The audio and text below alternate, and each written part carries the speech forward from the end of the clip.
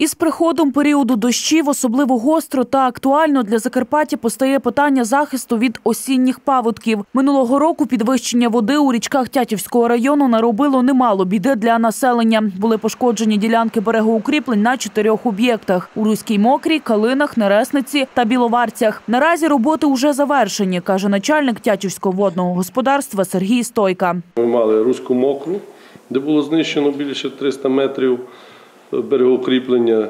Потім було у нас в Калинах 208 метрів берегоукріплення знищено. Е, В Нересниці було знищено також великий участок більше 150 метрів берегоукріплення.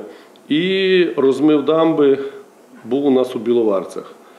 На даний момент практично всі першочергові роботи були виконані.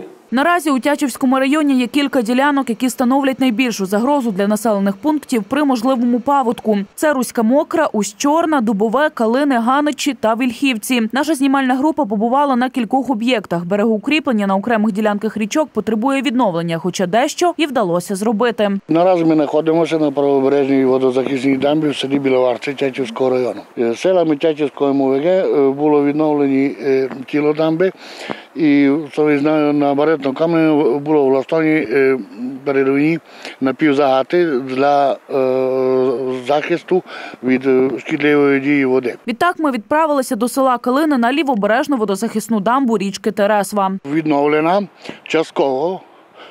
Ну, із-за нехватки е, коштів вона не, не є е, фактично закріплена тільки в одному місці.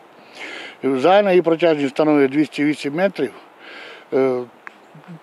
Під час паводку відбувся звал водяного потоку на лівобережну дамбу, і е, дамба не витримала е, натиску і відбувся перелив. За словами начальника водного господарства, в усіх селах та селищах, де є річки, повинні бути аварійні бригади. Тячівське водне управління дає дві такі бригади, і закріплені об'єкти на території двох районів може допомогти, але захистити усі населені пункти у зоні ризику на жаль. Тому у разі виникнення надзвичайних ситуацій необхідна підтримка і органів місцевого самоврядування.